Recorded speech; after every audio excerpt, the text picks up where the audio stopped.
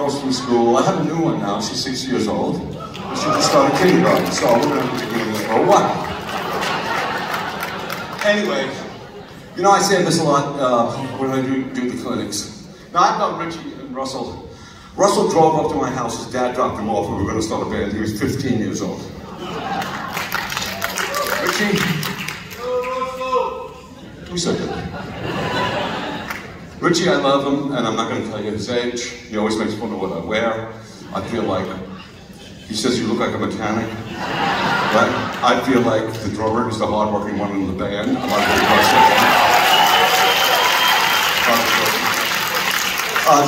really uh, here. Uh, my friend Chris came tonight to see us. I haven't seen her in years, really.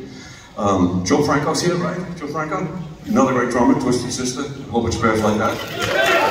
And uh, one that I am indebted to, that I would not be standing up here if this guy didn't say while we were eating eggs one morning, he had a Rod Stewart, and he's going to do it again, a Rod Stewart uh, band that he had the singer, you know, his band uh, that looked like we have Dave, um, Dave, like we have Dan as our singer, the Billy Block. He has a Rod.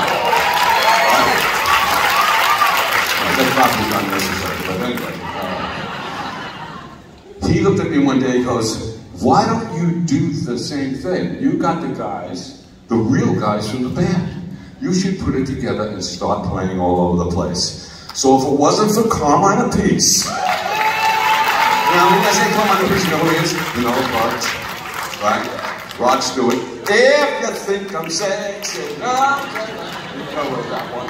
Uh, Blue Murder, right? Cactus. Said, yeah. So many bands. The first time I saw this guy playing, I got frightened. He was so powerful. Anyway, thank you, Carmine. So you see now when you're uh, actually made here? But I'm really glad that these people are still into this shit. So um, thank you so much.